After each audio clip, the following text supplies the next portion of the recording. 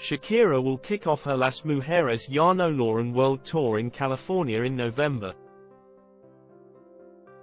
The pop star previously teased her plans to hit the road during her surprise appearance at the Coachella Music Festival last Friday, 12. 424, and now Shush has announced the first run of dates with the North American leg launching at the Acrisure Arena in Palm Desert, California on November 2nd.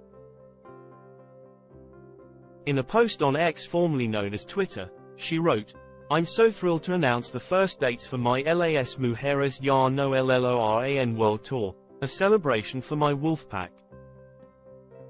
The first leg of the tour will be across North America, the only chance to experience the show in a more intimate way. International dates to be announced soon, so stay tuned. The tour includes stops in Phoenix, Arizona, San Antonio, Texas, Miami, Florida, as well as Brooklyn, New York and Los Angeles as well as concerts in Toronto and Montreal, Canada.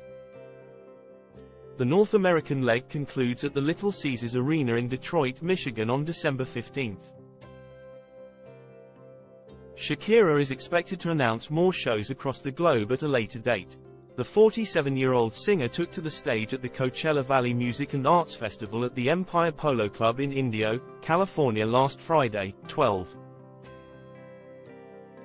424, alongside her BZRP music sessions, Volume 53 collaborator Bizarrap.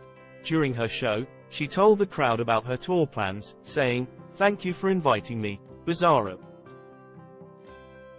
To be honest, it is amazing to be here with this crowd and with you, who's my friend and colleague. Today, I cannot contain myself, I have to tell you something. Bizza, I am going on tour. I am finally going on tour. Starting here this November, this year in this city. I can't wait.